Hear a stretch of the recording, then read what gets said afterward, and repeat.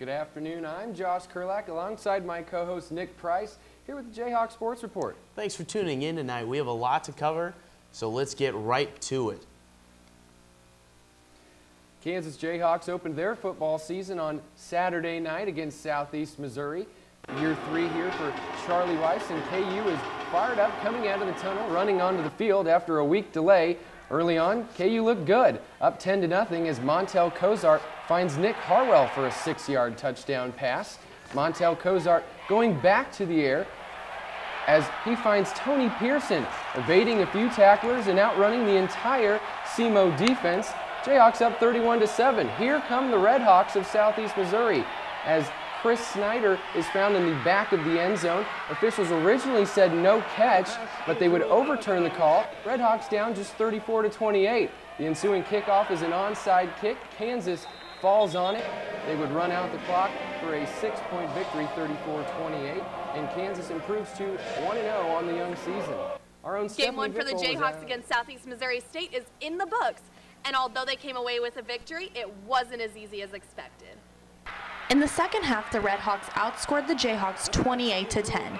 Head coach Charlie Weis says lack of success was what slowed down Kansas. I think that you know they might not be used they might not used to success. You know to be playing on top. You know too many times the games are close and all of a sudden it's 24 nothing. I don't think you ever stop playing hard before the season even began, Kansas's top two running backs suffered season-ending injuries.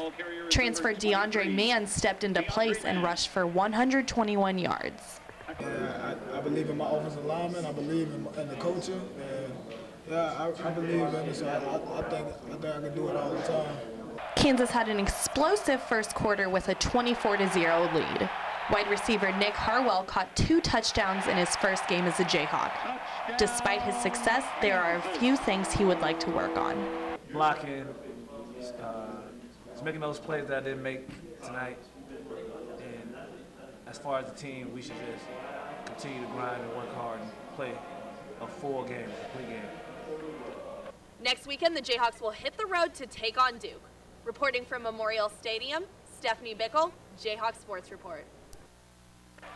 The Big 12 named cornerback Dexter McDonald Conference Defensive Player of the Week. He is the first Jayhawk to receive Big 12 weekly honor since last November when James Sims was named Offensive Big 12 Player of the Week.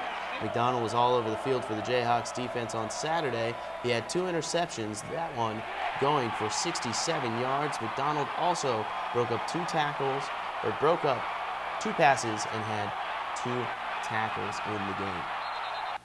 Switching our focus to golf, the Lady Jayhawks took the course for round one of the Marilyn Smith Sunflower Invitational held at Alvamar. Jumping right into the action here is junior Yupa Porn Kawin Pakorn. Say that one 10 times fast. On the second hole with a great chip shot to put the ball within three feet of the hole. She would knock that down for birdie and finish at two over for the round. Now on to number five where senior Michelle Woods takes this putt from 40 feet out and sticks it within four feet of the hole. She'd tap that one in for par and would end the round tied 14th at three over par. Now let's take a look at the individual standings after the first round of play. KU sophomore Pornvipa Sakdi leading the pack shooting a 2 under 70, followed by Malin Centered, Alejandra Acosta, and Connie Jeffrey, all tied for second at 1 under 71. Stina Renson and Marcy Arrington both shot even par today, putting them in a tie for fifth place. And rounding out the top seven, KU senior Gabby DeMarco shot a 1 over 73. After the first round of play, the Jayhawks hold the top spot at a combined score of 8 over par. Kansas State coming in second, four strokes behind the Jayhawks, sitting at 12 over par. Central Arkansas and Oral Roberts are tied for third at 15 over par, and the Lady Jayhawks B team currently sits in ninth place at 34 over par. Still to come on the Jayhawks Sports Report, the women's team, the women's soccer team looking to stay undefeated on the road. Plus, the women's volleyball team looking to sweep the Denver Invitational over the weekend. We'll be right back.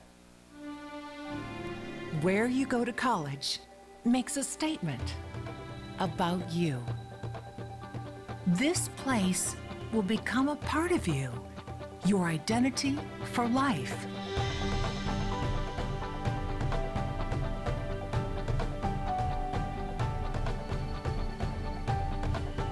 The University of Kansas, a great place to be you. And welcome back. The Kansas women's soccer team hit the road for the first time this season. The Jayhawks maintained their perfect record with two more wins at Colorado and at Denver. On Friday, Kansas knocked out former Big 12 rival Colorado by a score of 2 to 1. Liana Salazar broke a 1 to 1 tie in the closing minutes for her sixth goal of the season. Freshman Lewis Huchan also added a goal for Kansas.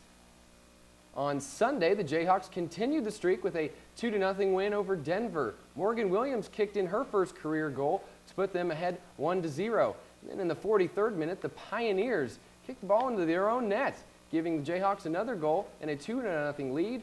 Kansas would hold on for the victory, and the Jayhawks improved to 6 0 for the first time since 2004. Kansas returns home to take on Cal State Northridge on Friday night at the Jayhawks Soccer Complex. Game time for that one is scheduled for 5 p.m. The Kansas volleyball team spent its weekend in Colorado participating in the Denver Invitational. After rolling through wins against Bradley and Sam Houston State, they faced undefeated Denver for the championship match. The Jayhawks prevailed three sets to one, improving their overall record to 5 and 1 on the season. Kansas senior Chelsea Albers was named tournament MVP, and freshman Ainise Havili was selected to the all-tournament team for the second consecutive weekend. The Jayhawks are going to be back in action on Tuesday night for a home game against UMKC. So, Josh, exciting weekend for KU sports. Yeah, exactly. The KU football team got a win, and, and we saw some of the uh, women's soccer team and, and the women's volleyball team also came out victorious. So a good winning weekend. Hopefully they can all improve on their past performances. Right, a lot to look forward next week, and we'll be covering all of that for you. Well, Jayhawk fans, that is all we have time for in tonight's broadcast. A special thanks go out to our entire Jayhawk Sports Report team. For Josh Korlak, I'm Nick Price. Have a good evening, Lawrence.